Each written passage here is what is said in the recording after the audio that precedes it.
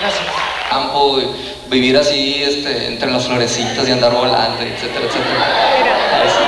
No, pero pues eso sería pues ya bien acá. Ah, no, entonces, debido a esto, nosotros causamos de que andamos peligrando, peligrando nuestras vidas. Entonces, la cuestión sería de que si peligramos nuestras vidas, estamos en mero en medio entre la vida y la muerte.